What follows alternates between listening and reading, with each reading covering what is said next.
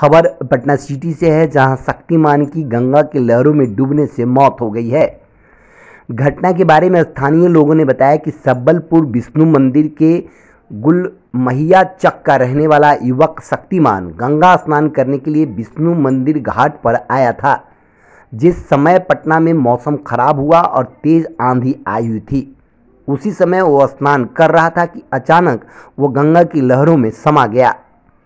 पानी की गहराई का अंदाज़ा न लगने के कारण वो डूब गया, जिसके बाद लोगों के द्वारा पुलिस को सूचना दी गई, जिसके बाद पुलिस मौके पर पहुँच, एनडीआरएफ को इसकी सूचना दी, जिसके बाद शक्तिमान का सौ निकालने में कामयाबी मिली। आपको बता दें कि गंगा का जल स्तर इन दिनों काफ़ी बढ़ा हुआ है, जिसके कारण आए दिन लोगों की डूबने की सूचना मिलती रहती है। यहाँ पे स्नान करने के लिए लड़का हुआ था, जिसका नाम शक्तिमान है दुनिया चक्कर आने वाला है, और वो स्नान करने के लिए गया तो फिर बाहर नहीं आया नाव से बालू उतार रहे थे, वही लोग बोला कि बच्चा डूब गया काफ़ी संख्या में भीड़ लगा हुआ है और एनडीआरएफ की टीम आई हुई है।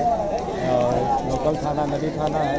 एनडीआरएफ को खबर किया तो लोग आए हैं। और लगा हुआ है लोग। एनडीआरएफ की टीम और ग्रामीण लोग भी लगे हुए नाव से bureau report, SDF news, Patna.